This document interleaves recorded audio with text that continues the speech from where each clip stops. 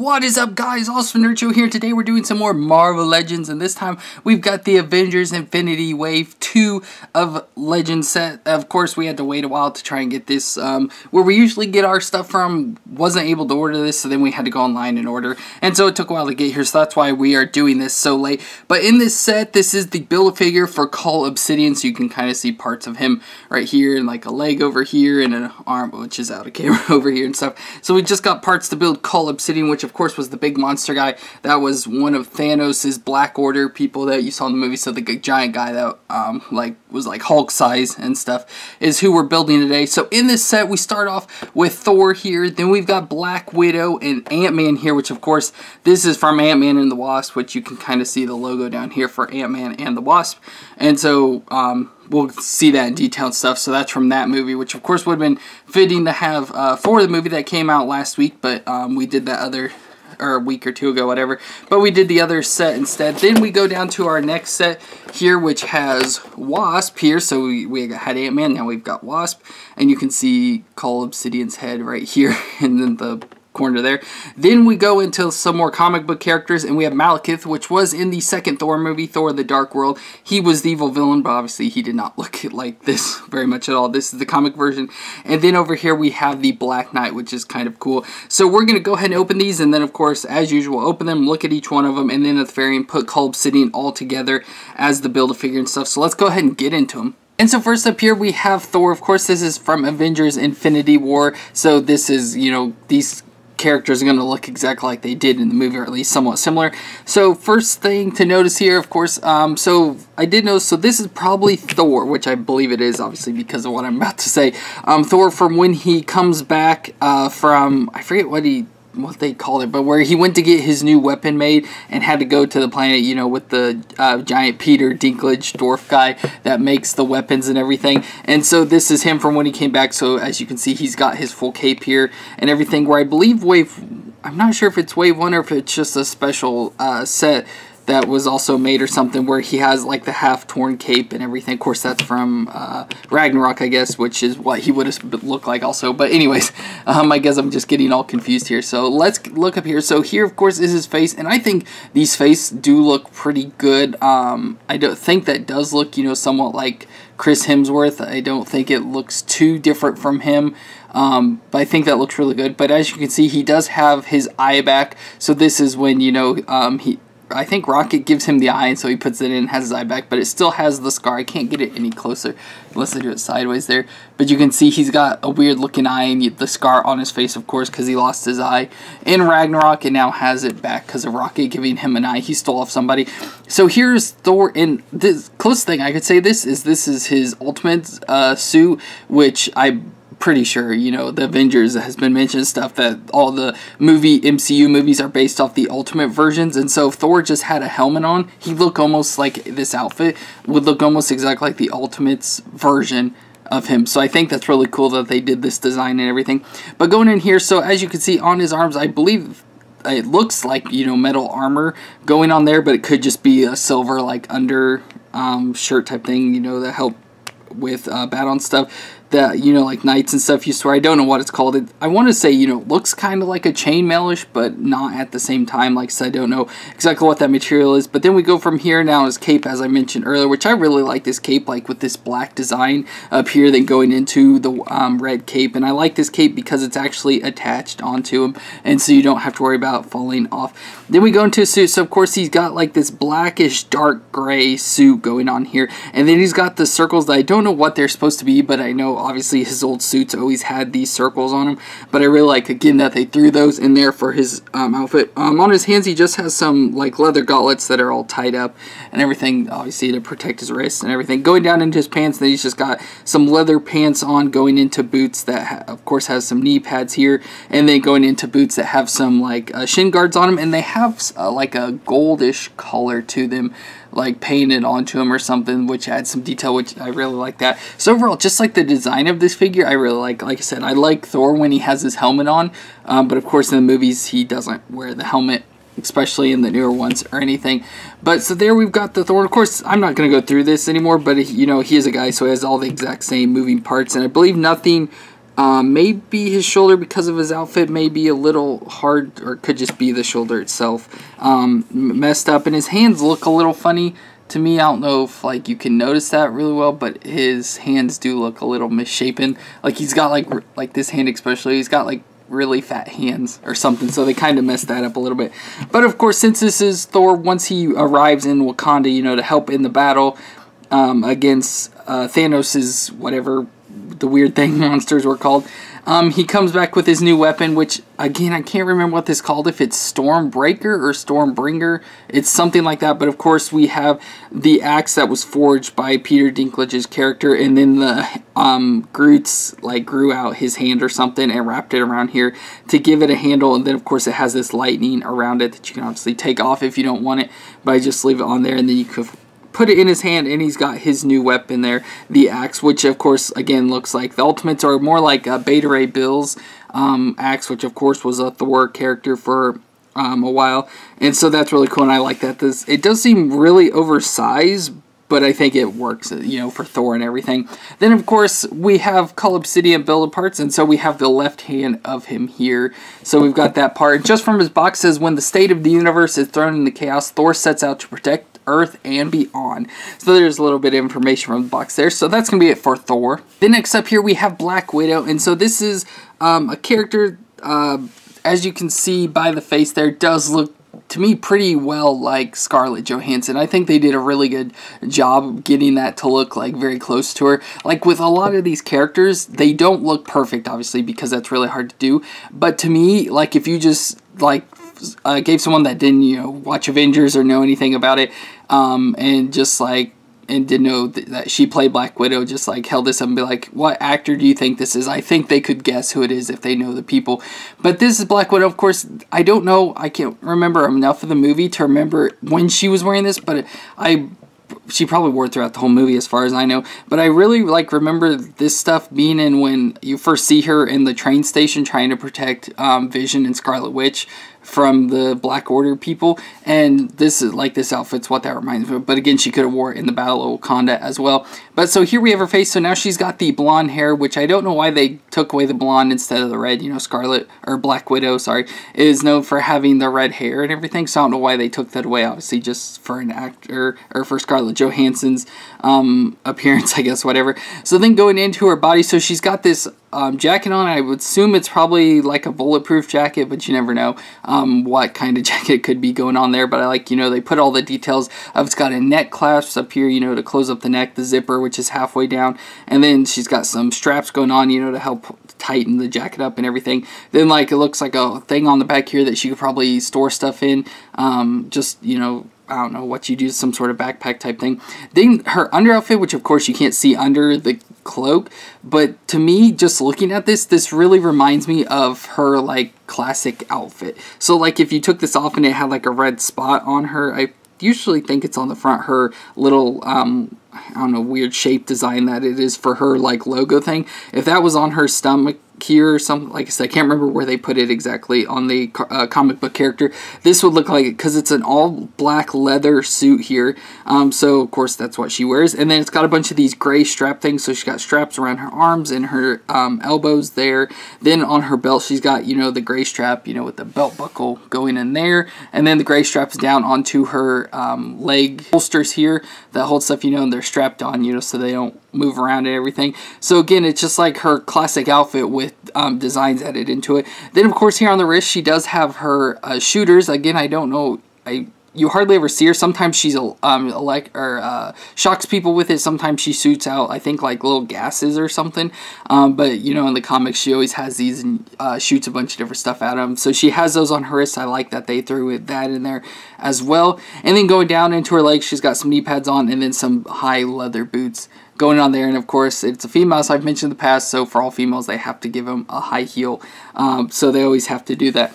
And so that's it for Scarlet Witch. So this is a female as usual. So she has really thin joints and stuff. So her arms are kind of weird, but they're a lot better than what we'll see in a um, little bit here. But I really like the look and design. They really got all the details put into that. So some of the accessories she come with, so she does come with two fists, so you can add two fists into her hands, switch them out from the open hands if you want to. Um, then we've got her baton here, uh, or her baton, I think they call them batons. Um, but of course, that, like she fights with, and I can't re- again, I can't remember all the details in the movie, but I assume these like collapse together, and then um, when she goes to fight, they extend out. So that's why all the silver pieces are like the extended out parts um, of it and everything, and they can collapse down. Then of course you can stick them together and turn it into like a bow staff that she can fight with and everything. So that's really cool, and I like that. So you can add those into both of her hands. And then she comes with these things, and I have absolutely no clue what they are. I thought, like my best guess, which I'm sure someone will know and tell me in the comments, uh, but I, my best guess was that they were these sticks, um, just you know, supposed to be without the parts extended out. But you just take these and stick them into her uh, pockets down here. I don't know the exact direction you're supposed to put them in, but let's just kind of stick them down in here. I can get it in. And there we go. So I just stuck them in there. Again, I have no clue what they are, what weapons are supposed to be, unless they are supposed to be these sticks, you know, like all folded up or whatever. And so you can stick them down in there. So um, I like that she came with so many accessories. Again, I just don't know what those are. Then, of course, for our Cull Obsidian piece, we have the main body here. So we have this giant piece of the body. Look, it like completely covers her up. So we have the neck part here, the chest. So he has a piece of armor there for shoulder. And then, like, his uh, whatever part you call this, but like his uh, skirting type area to cover up his um, lower parts here. And so it's like piece metal with some, you know, like uh, cloth hanging down off of it. So we'll see that more, of course, at the end. But just from her box, it says an agent of espionage an expert in hand-to-hand -hand combat, Black Widow is trained to take out any enemy of justice. So there's a little information for her. So that's going to be it for Black Widow. And next up here we have Ant-Man, of course, the Scott Lang Ant-Man from Ant-Man and the Wasp. And so again, this is from Ant-Man and the Wasp, as we saw on the front of the box there. His belt's all messed up. Um, and so this is Paul Rudd's character from the movie. So pull it up here so you can't see his face. This is one of the characters I don't like that much, the way they did his face. I do think it does look like Paul Rudd, but I hate that weird smirk they made him do with like his mouth, and so it makes him look really weird and so I don't really enjoy that part of it. Um, but here we have his, you know, normal outfit as we see him in, and it's very similar to what he wears in the comics now. Um, so, of course, there's his head. And then we go down into the suit where it says all black and red suit as we saw in the Ant-Man um, video we did a couple weeks ago. And so he's got, um, again, it's the red that goes all the way down through and then black undertone, or like underneath it and everything. Um, then he's got some metal on him, so he's got metals up here around his head and neck area in there. Probably like some neck support and stuff going on in there. Uh, then we go down, we go into a belt, which of course has his little button or thing here, you know, where he pushes the button and he grows big or small, whatever he does. He's got some metal gauntlets going on there with leather gloves. Um, it looks like also on his belly does have some little pockets and stuff maybe or that's just you know just the belt design in general could be. Um, then going down into his legs here we go to his knee pads and boots um, where he's got some you know red design going onto them there as well and I like the way it's designed and I like all the silver that runs out through so you can see you know silver running down there and down his legs and everything. I really like all the designs and everything in this. Again there's not much to go into Ant-Man you know just a plain basic character. There's not a whole lot of detail to go into on him and he doesn't do a whole lot of different stuff. But if you don't like this Paul Rudd face which I could probably understand why most people don't like I said I don't like the way it looks at all you can switch it out for the Ant-Man helmet here so you could actually make it you know the Ant-Man head instead of Paul Rudd's head, which I really like that they threw that in there so you could switch it out if you wanted to. And then for Cull Obsidian, we have his leg here. So we have his left leg, giant three-toed monster Lake here with some metal on it there. And just from his boxes, Scott Lang suits up as Ant-Man with a specialized suit engineered by Pym Technologies that lets him blast into any battle, big or small. And so there we got some stuff on Ant-Man. And next up here we have Wasp, again from Ant-Man and the Wasp, and this is the Hope Van Dyne character here. And so um, I really like the look of Wasp here, and especially in the movie, I really enjoyed her. She was um, a really good addition, I believe, into the movies and everything, but her body just here, this the design is not good. That's why I mentioned earlier about like Scarlet Witch, whatever. That her design is much better compared to um, uh, Wasp here. So we'll go and start with looking at her. So here we have her face. So she's the opposite of the Paul Rudd. So um, she's got her helmet on from the beginning. So here is her Wasp type helmet, which I do think uh, looks very more like Waspus, I guess you could say. I like the more of the point coming, or the helmet coming to a point here on the front. I really like that compared to Ant-Man, you know, that's just like flat that then has the attachment onto it for like the breather. Um, but then she's got some clear goggles going on there, which you can see some eyes in there. So like there is a head under there. And then going on to the side, she has these two, you know, antennas that come out to the back, which are kind of up and everything but that doesn't really make much of a difference. Then going into her suit, so she has, as you can kind of see, a dark blue and gold with some red details going into it and everything, so I really like those colors. So we have, of course, her backpack, which is an attachment I put on, um, going on here, so it's her um, attachment with her wings in there, which we can switch out here in a second. Um, and then going into her suit show, again, I like this gold going down and then the dark blue, but like this hand is all messed up unless there unless I can turn it around. Maybe that's what the issue was earlier with trying to get her straightened out from the box. Her hands was her arms were all twisted around and everything. But that's the thing with these joints, you know, they're just one joint they can twist around and do all sorts of weird stuff. Um, but she's got um, some stuff here on her wrist. Of course, she shoots like little, you know, energy bolts or blasts or something out of her gauntlets here. So that's why she's got those on there. And then she doesn't have a belt or anything, but I assume she since she's wasp, you know, all she does is shrink down. So she doesn't have to worry about going up or down. She just shrinks whenever she needs to. And that's probably built into her, um, her gauntlets as well. You know, maybe she just hits something in her hand and shrinks down. You know, like Ant-Man has the thing on the side of his finger there. Um, going it then down, so again, carrying out with the gold, which again, I like the color, because usually a wasp is, you know, like a bee color, so yellow and black or you know similar to that. So I like that they did that. Then carried on the red so it goes down her arms obviously down her sides here and then down the legs as well all the way to the bottom where of course you know it just continues on with this um, dark blue color the navy blue down into her feet which her feet are kind of messed up. I can't get her to stand very well um, but there on her feet there. She does have little red dots for some reason but I like that as well so that's it for that version. So then we have some accessories, of course. So here we have her wings. So it's her backpack with actual wings. So, you know, you can pose the wings around however you want to do it, but they only go to a limited range. Like that's as far down as they go and everything. So that's kind of a pain, but you can still switch it out. So we'll flip her over here and then you just push it in the hole in the back. And now she's got wings. And she can fly. She's like Peter Pan. She can fly. Um, so set that there. Then she does come with some hands. So if you want to do flat hands so usually when she flies you know she does the flat hands out and everything so you can switch those out as well. And then we've got a head of here so we have Evangeline Lilly's head here which again I don't think this looks like Evangeline Lilly but I do think it looks really good. I think you know that does look like a human and not some weird like messed up person's face. And so I do think they did a really good job on the sculpt. I just don't know if I could really tell that that's who that is, but you can obviously switch the head out and you can take the helmets off. So if you want it to be like um, Ant-Man, you can, you know, have both without their helmets. And then for Cull Obsidian, we have his head here, so his ugly looking face going on there. And from the box says, Hope Van Dyne gears up with signature stingers and high-tech wings as the buzzworthy hero, Wasp. And so that's going to be it for Wasp. Then next up here we have, I think it's Malekith. It could be Malekith. I don't know by the spelling. It's kind of weird.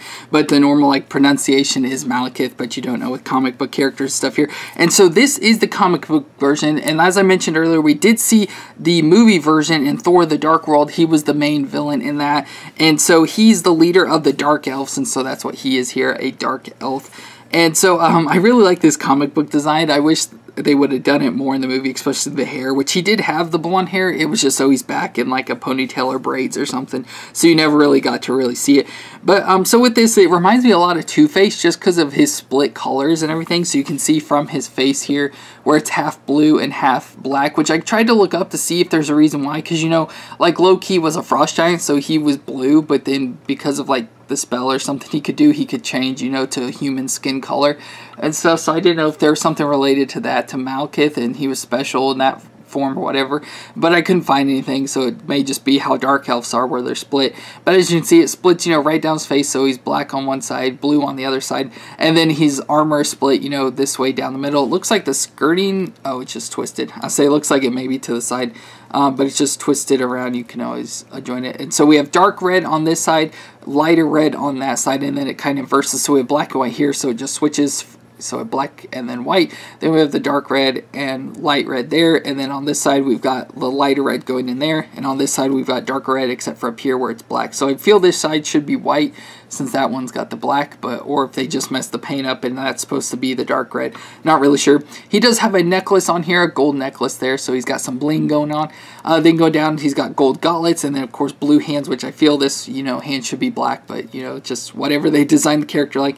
Um, so then go down, he's got a belt here with some sort of like circle design going on to it, holding on the skirt again that switches, you know, half and half colors. He does have an extra belt on the top here that has some pouches. Again, I don't know. I assume you just push it to the side like that. It's got some sort of stuff in it he can use. And then go down his legs, match the arms. You know, it's got a dark leg and a light leg of red colors and then the inverse so it's got the light red stripe there and the dark red stripe down the legs there and here's from the back. And so here is of course a closer look at his head. Again his beautiful luscious blonde hair. He does have an elf ear here so of course since he is a dark elf they always got to give him the pointy elf ears. So he's got that going on there and I really like that. I like the look of the character. It looks like the paint job could have been a little better in spots like on the skirt and everything and the switching of the reds. Um, they could have done a better job but I really like it as well. Um, so he also comes with a weapon here. So he has a sword. So he has a big, you know, sword you can put in his hand. So it's a giant. So I like this curve that it has at the top here. Then it's got, of course, the blade and then like serrated stuff on this side as well. So it's just a nasty, evil-looking sword, a giant sword he's got there. Then for our Cull Obsidian, we've got a couple parts. So we've got the right hand of him here. So he's got the right hand again with the metal on his arm. And then he also comes with his weapon, his giant like hammer or axe, which usually I'm pretty sure in the movie was like longer, so this you know supposed to be maybe like extend out or something, but it doesn't. So it's just this, and I don't even know how you really even fit this into his hand. Maybe it goes in his other hand or something as well.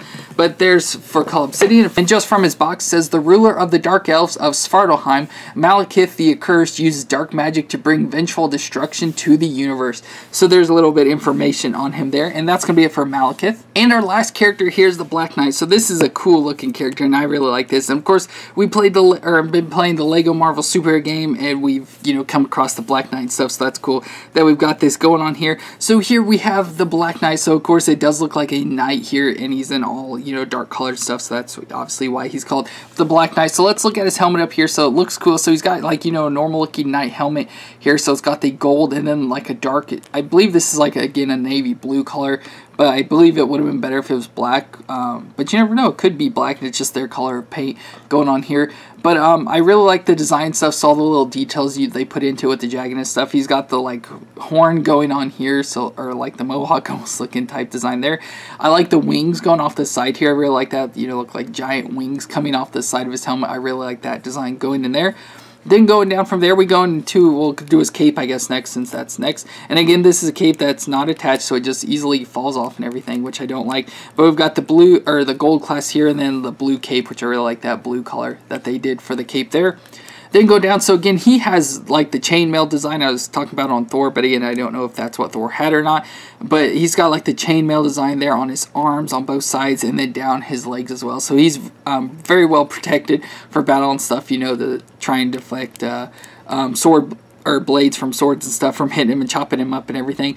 Then go down, so he has a like uh, shirt going on here. Again, it's uh, to show like his like house logo or whatever that Knight's wearing stuff. So he's got some sort of like eagle or something going on there with the red. So that goes down into his belt which he's got some pockets and a, um, a, sheath go or a holster type thing here for his sword. And so just all sorts of pockets going around there. Then he has a piece of cloth that hangs down in the front there. Again going down his legs into his boots leather boots that match the same as the rest of his outfit. And then his gloves as well that match those. So he's got leather gloves there with the red stripes on the outside. They're going on there as well. And so that's pretty much it. He doesn't have anything on his back, just another piece, you know, of leather, leather or cloth hanging down there. It's hard to, you know, trying to keep his cape on him as well. So we've got that. Then he does come with a sword. So he has this sword here, which I, again, um, so this is an actual black. Like, out, compared to the thing, this outfit looks much more blue, where this looks like pure black, the blade here. But it is been up. As you can see, it's all twisted stuff or um, curved and everything, so we'll have to flatten that out. Then it's got a gold handle here, which looks really nice. I like this design here for the hilt and everything going down there, which you can obviously then slide into there. And so now he's got his sword on him. Um, then he does also come with other helmets. So the interesting thing about Black Knight, so there's been three Black Knights throughout the years. So I looked this up because I knew there was something going on. I wanted to try and get it. Of course, I probably won't know for sure. So the very first Black Knight, so there have been two good Black Knights and one evil one. So the current one, which I believe is this guy here, is the a good one. Um, but then the very first one, Sir Percy, which was an actual knight, you know, back in like the old England days, medieval times and stuff. Um, he was a good guy. His name was Sir Percy, and I want to say this was his helmet, but also the second version also wore a, a helmet similar to this as well. But as you can see, it's like a very classic looking knight helmet, like an old, very old school. It almost looks like a bucket, you know, with holes cut in it. But it's got the gold design going on there, and I like the point it comes down to in the front here. And then it's got a golden eagle there on the helmet as well, which I like that design. Of course, it's very flimsy and stuff, plastic there. But I like that design there as well. Then the second form, which was Nathan Garrett, which was the uncle of the current guy. Um, I don't know which helmet he used because I've tried to like look to see if you know, oh, maybe that's, you know, Sir Percy, this one's Garrett, and then this one's the current guy that um, Dan, or I can't remember Dane something. I can't remember his last name though. The current guy, but again, it's his um, nephew of um, Nathan Garrett. And I thought, you know, this is Nathan Garrett stuff, but the current guy wears a helmet pretty much like this most of the time, but then it's also shown him with this helmet here with the wings as well. So it's hard to tell, but here's the other helmet here. So it looks pretty, you know, pretty similar to the other one he's wearing just without the wings and stuff. So there it's got an angry looking face. So you know that could be, you know, the evil one there since he's making that um, angry face there. And so I know my brother, which of course all these Marvel Legends are his, he bought um, two more Black Knights so he can have one of each guy and everything, which uh, I really like that scene, you know, there and being all the black different Black Knight characters and everything. Then for Cull Obsidian, we got our last piece, which is the right leg, so we now have all of that, so we can now build him after we're done with this. And from his box says, an expert horseman and superior swordsman, Black Knight has a checkered history as a powerful combatant with no clear allegiance. So again, that's playing in, you know, that he's been good and he's been bad, so of course, in different forms and everything, so that's why they threw all that in there. So that's going to be it for the Black Knight. And so now we've got all of our Cull Obsidian pieces here, so let's go ahead and put it together. And so here he is all put together now, which I think looks really cool. And so we have his um, weapon here, which I guess goes in this hand because it's um, wide open, or the hand is more open, so I guess I can try and fit this in there. Maybe not right now because it's feeling kind of hard to get in there. So we have his giant axe thing there. But here he is all put together and he is pretty big. So again, he's like, would be like a Hulk size figure. And especially if you saw the movie stuff, you saw that. Um, so some of the stuff going on here. So of course we've already seen all the parts. So here we have his head up here. So you can see his head right there. Again, going down into his body. And he's all like weird design and everything. You can see all the different, he's like a reptile almost as, and then he's got a bunch of like metal parts going onto him as well there and his feet and everything. But he's got five fingers, so it's where he's got three toes but five fingers still and everything. And he's got some weird knuckles there with some points, jagged points going onto him as you can see there. Um, so he just looks really cool. I don't like this part of it, this like um, shoulder armor here because the front, like if you move his arm a certain way, it only sticks in and then it just pops right out. And so you have to like keep his arm in a like a very low down position for it to be able to stay on his arm or to stay in and everything. So of course we saw in the movie he did lose a hand and he got a um, when we saw him again like Doctor Strange cut his hand off with his little portal things that Doctor Strange does. Um, and we when we saw him in the battle later on he had a metal hand. And so they didn't do that but he does you know have the metal parts all over his body his armor. Um, so I wish that'd be cool if they would have added that in there as well the metal hand but they didn't. Then of course as I said his weapon going on here and he's ginormous. So just for some size comparison I brought the Thor over so you can see the size comparison. So they're about yeah flat there and so you can see the, yeah, different size that there is, you know, going on up here between the two characters. So you can see how big he is. And that's another reason why I like these build figures so much. Because you get much bigger figures that way without having, you know, pay an extra price or whatever. Except for, you know, having to buy all the characters. Without paying after more than you would for just a normal character like this. And so that's going to be it for this Avengers Infinity War Wave 2 with the Build-A-Figure of Cull Obsidian set. So I hope you enjoyed this. If you did, let me know in the comments down below. Let me know which character is your favorite out of this entire set or which character you think has the best design, whatever you want to tell me about any of the characters. And don't forget to subscribe to see more of our videos and we will see you next time.